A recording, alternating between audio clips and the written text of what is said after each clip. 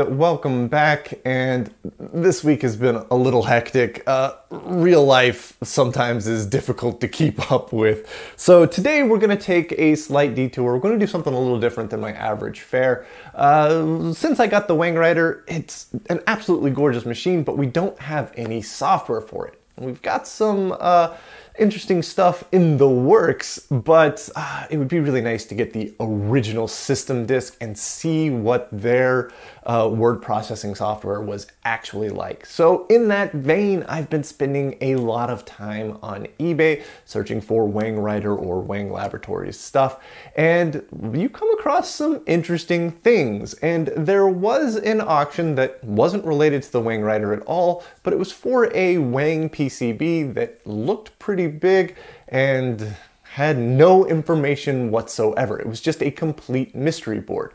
Uh, but they had the little make offer button on the auction, so I made a low ball offer, not expecting to hear anything back. Sure enough, they took my low ball offer. So I bought this mystery PCB for next to nothing on eBay, and well, a week later, here it is. It's gorgeous, first of all, and if nothing else, it was worth it for the chips that are socketed, because there's a lot of really great chips on here. But I'm not one to buy things like this just to salvage pieces off of it. I want to know what this is. And I don't have a clue what it is. Uh, the silkscreen gives us a little bit of an idea up here, but man, looking at it, I feel like there's so much more going on than just what the silkscreen is telling us. So today, let's take an in-depth look at what this is, what kind of chips are hiding out on it, and what I think it might be, but I'm most likely way off the mark. And so I'm really hoping that somebody out there uh, is much smarter than me or recognizes this board or even just recognizes the form factor and can give me a direction to run in because I have absolutely no clue what I'm looking at, but I would love to figure out if, if, this is part of a larger system, what part is it and what that larger system is. So let's hop over to the bench and take a look at this board.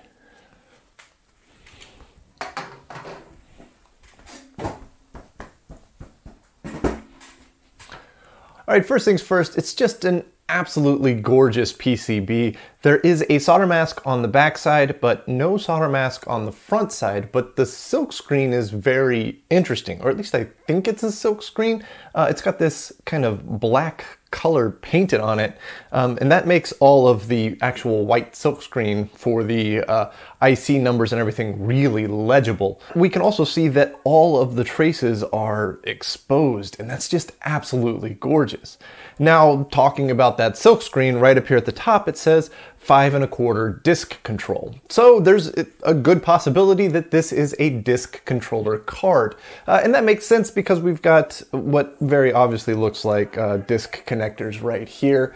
And so clearly it's controlling the disk somehow. And I also know that it's from 1986 uh, because I pulled both of these uh, ROMs off. This is a 2732 and this is a 2764.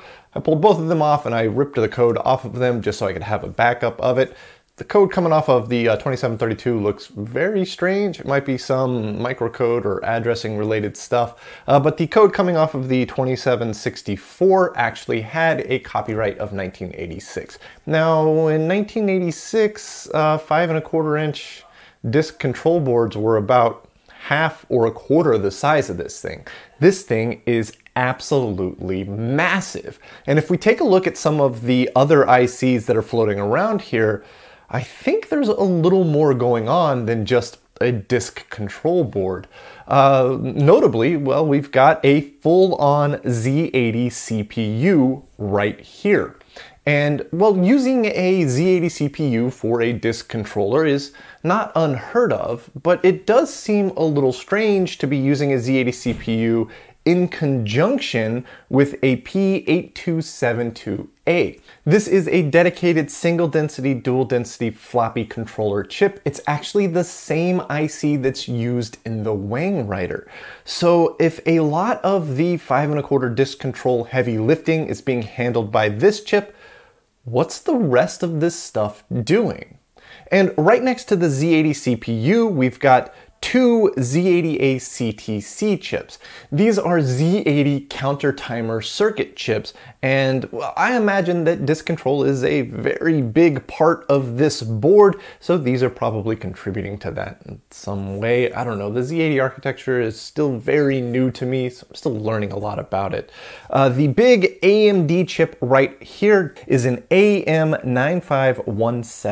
AM9517A and that is a multi-mode DMA controller. So there is some direct memory access control going on. And speaking of memory, there's actually 64K of RAM on this board, and it's right here on the bottom. And these chips are MB8264 A's, and they are 64K by 1 bit RAM chips, and there are nine of them. Uh, so that would be the first eight are for the 8 bit data bus that's going on through here, and then the ninth one would be a parity bit. So that is a full on CPU, a relatively large amount of RAM all for a disk control board that already has a dedicated disk controller chip on it. So I don't know, there's some weird stuff going on here. Now, other notable chips are going to be these three right here. Uh, and, well, these are all kind of the same. They're uh, HDC 1100s or WD 1100s. Uh, and these are, I believe, MFM generator chips. So that leads credence to the whole disk controller idea. Uh, but this big guy over here is a Datatronic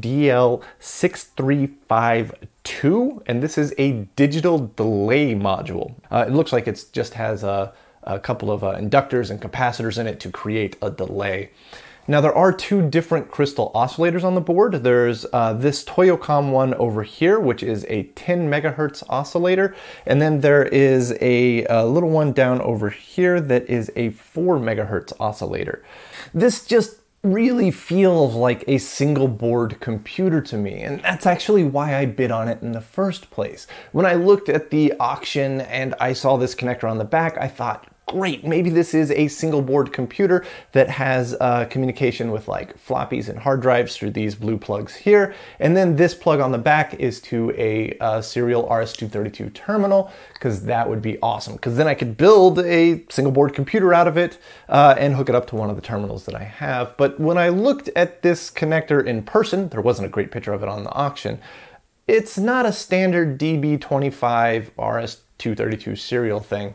So I'm probably way off the mark on that. And actually, I'm probably way off the mark on everything. It could just be that this is a really fancy disk control board. Uh, it's huge, and I am not familiar enough with old uh, uh, disk control boards to know if they need 64K of RAM. That feels like way too much RAM for just a disk control board. Uh, also, if it were just a disk control board, how does it communicate with the rest of the system? Usually they have like a card edge connector or something that plugs into a backplane. And maybe that's what this uh, connector here on the end is. Maybe the backplane has uh, proprietary connectors and it slots in that way or something. I don't know. I, I really wish I did. And uh, Googling all of the numbers that show up on here brings up nothing. And boy, with 64K of RAM and a full on Z80 processor and a dedicated floppy controller chip here, it just feels like a single board computer, and that's what I really, really want it to be. But who knows? I may be way off the mark, and I'm really hoping that one of you guys out there recognizes this board. So if you've watched this video and you've been screaming at the monitor because I've just gotten so many things about it completely wrong, hop in the comments below and let me know. I'm genuinely curious, and if it does have the capability of talking to a terminal or doing something on its own, I would absolutely love to get this thing powered up and see what it can do. Uh, but, well, for now, I'm just going to keep Googling chip stuff here, maybe try to figure out what's going on with the code, uh, because this, uh, this code that came off of this ROM chip should be Z80 code, and that might be able to give us a little more insight. But, uh, well, this was a little bit of a shorter episode. Uh, like I said, real life's been real hectic lately. Uh, but next week we'll be right back on the Centurion, and I have some really exciting stuff that's going on with that. So I really hope to see you guys then, and thank you so much for watching.